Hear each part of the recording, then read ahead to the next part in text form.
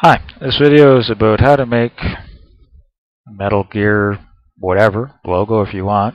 Uh, Tutvid did one a few years ago uh, for Photoshop. This one's different, uh, maybe a little easier, and it's for GIMP. And I'm using 2.8 in case it looks a little bit different than the version you've got, but as long as you get polar coordinates, it should work. Okay, so this is how you do it. So it's File, New File. Okay, and since you're going to be using polar coordinates, okay, and a brush, okay, you got to have layers that divide, you know, that can be divided by 50, okay, or that 50 will divide into. So 1,000 by 1,000 is the one I'm going to use. Okay, there you go. I shut the other one off. Now, that's the brush that you're going to need. If you, it's in another one of my videos. It's how to make gears from a brush and polar coordinates. Is part one. Okay, and quickly, this is a 200 by 800 image. It got scaled to 50 wide and 150 high. These were set at 40 and 20 from the edges, okay, and one in the middle. So if you just copy it all the way around and keep a grid spacing in 20, you can make it. Okay? Enough said. Okay, I'm going to make a few layers. I just hit enter. There. One more.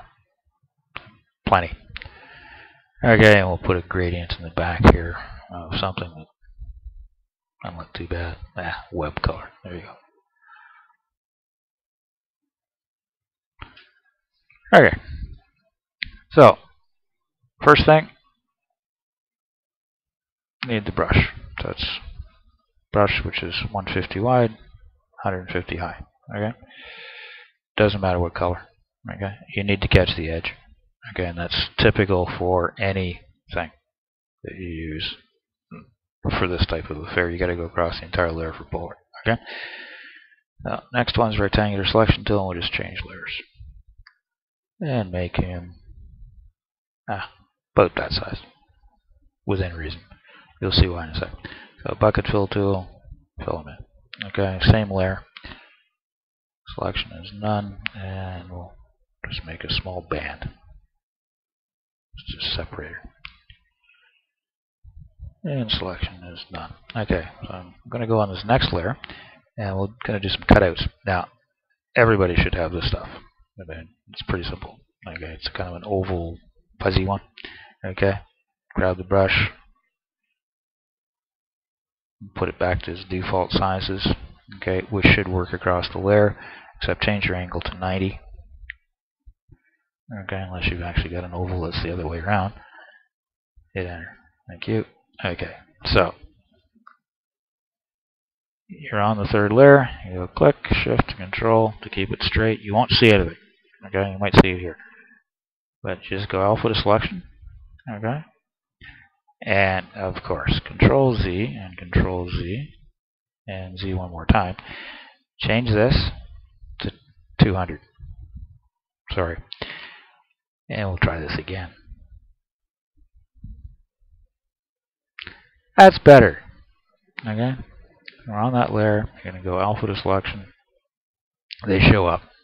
Okay, roughly, but what you need to do, hit the delete key, go up to the layer that you actually want to chop holes out of, and hit the delete key again and selection none. And the reason I'm saying hit the delete key twice is because you're going to be using another one on the same layer. I mean, unless you want to do a different layer. Change this guy back to its original 0. Okay. It's got to be at 200 as well. Means it gives an extra space. 100 would be just binding across, and 10 just overlapped everybody. Okay.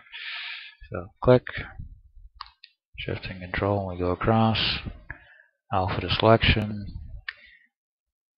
delete key, delete key, and selection is none. Okay, now the other, I'll show you what happens actually. It may not happen to you, but it happens to me a lot.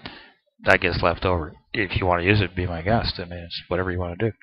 Uh, just I usually just trash that layer. Okay, so that's it. Basically, that's all there is to it. I'm going to zoom in. You may or may not get get that off of there. What's called anti-aliasing lines it's I don't know. It could be a 64-bit machine. It could be because of GIMP, or it could be I'm just holding my nose wrong. This does not always happen. It may never happen to you. Uh, in this case, we'll just leave it in. If it so, if it doesn't happen to you, you won't get something that you'll see in a second. Okay. You can turn these independent of each other, but I usually just merge them together. So merge down. All right. Filters, distortions, polar coordinates. Okay. By default, it comes mapped to top. Take that off. Okay. So just to polar. That's it. It's turned around. It's rather unremarkable. It doesn't look like much. Okay. But here's where it gets interesting. Alpha to selection. Okay. And it's actually pretty simple. Now, my system seems to start to want to crash every time I do this, so kind of bear with me if you lose my voice or whatever. So it's gradient, and I'm going to use I think cold steel 2, okay, or anything similar will work, okay. It's going to be radial and no repeat. So I'm basically just going to start in the middle here. This should be really interesting.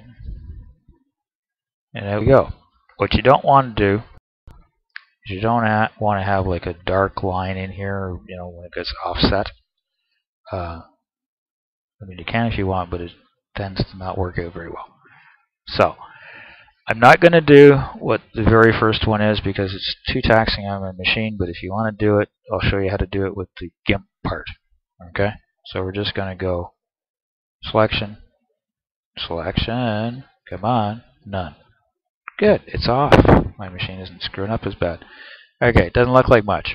Okay, we're still on that layer. So we're going to go filters, map, bump map. Okay, and I would name this guy, but I know what it is. It's layer 5. Okay, I'll bring it in here just to give you an idea. And depth, I usually pump it up a bit. Okay, use your own discretion.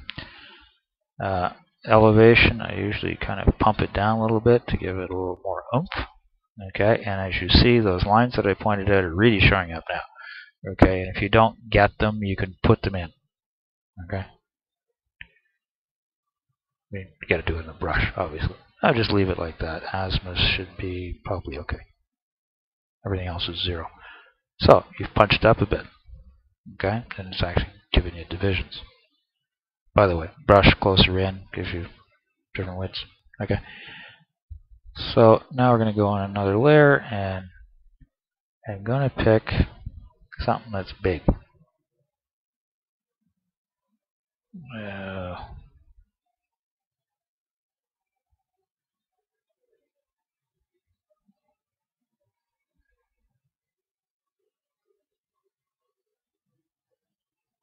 book somebody. There we go. Bookman Old. Okay, it doesn't really matter. Pump them up to about 180. And just go inside and we're just going to type GIMP. And just move them into the middle here. Alpha to selection and it's the same deal. Pick the same gradient except change it to linear. Go across and go up. There you go. What you want to avoid is having kind of weird lines coming across here. You don't want to get ridges. You can if you want. It's up to you, but it won't look very good.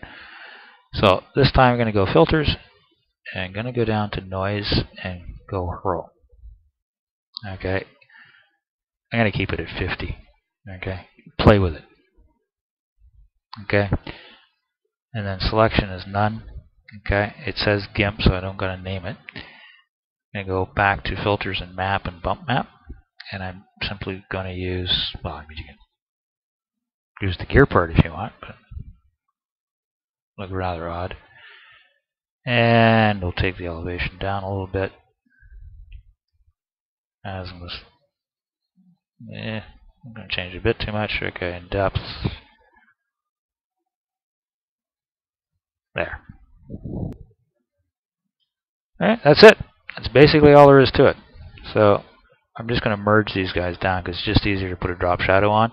And something to keep of note, if you've done the you know the noise part with the hurl, or well, there's other names for it, but anyway, uh, if you've done that with Hurl, which kind of puts holes in your object, and you go alpha to selection and then go filter, okay, light and shadow and drop shadow, and just come up in the back. So if it's highlighted and you do this, you'll get a different effect.